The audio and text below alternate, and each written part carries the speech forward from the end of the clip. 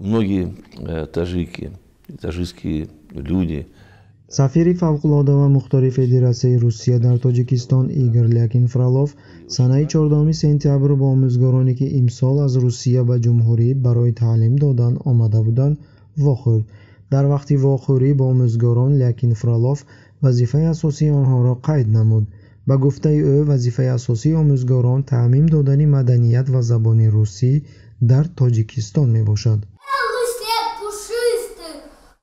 дар навбати худ раиси намояндагии россотрудничество михаил вождаев ба омӯзгорон иброз намуд ки бо дархости онҳо вазорати маориф ба тоҷикистон 3346 адад китобҳои дарсӣ ва асарҳои бадеии адабӣ ирсол намуд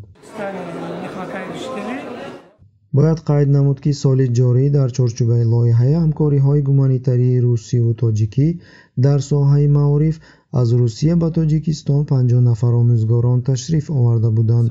Тибқи шартномаи байни ҳукуматӣ музди меҳнати омӯзгорон ба миқдори 60 0 рубли русӣ дар як моҳ ҷониби русия ба ӯҳда дорад ҳукумати тоҷикистон бошад ӯҳдадор аст то ин ки омӯзгоронро бо ҷойи зист ва пардохти хизматҳои маишии онҳоро таъмин намояд. Ба ақидаи мушоҳидон амали мазкур ҳамчун ғасби мустамликаи маданиятиву маърифатӣ буда барои устувор гардонидани нуфузи вуҷуддоштаи русӣ дар тоҷикистон мебошад. Русский язык считается вторым языком так что э, у нас во всех образовательных учреждениях он идет не как иностранный язык а как пас аз барҳамхӯрии иттиҳоди шӯравӣ мардуми тоҷикистон аз дасти ғуломкунандаи худ дур шуда меояд. Илова бар ин сабаби асосӣ дар раванди мазкур бозгашти мардум ба мутобиқати исломӣ ва сиёсати русия нисбати муҳоҷирони меҳнатӣ гардид.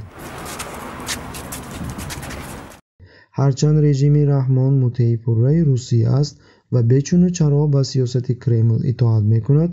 Ин маънои онро надорад ки мардуми тоҷикистон низ кӯркӯрона ба гузаронидани сиёсати русигардонӣ аз худкунӣ ва устувор намудани нуфузи мустамликадории русия пайравӣ мекунад. Дар китобҳо мехонем ки солҳои ҳафтодуми шӯравӣ ҳамин гуна як фазо ҳукм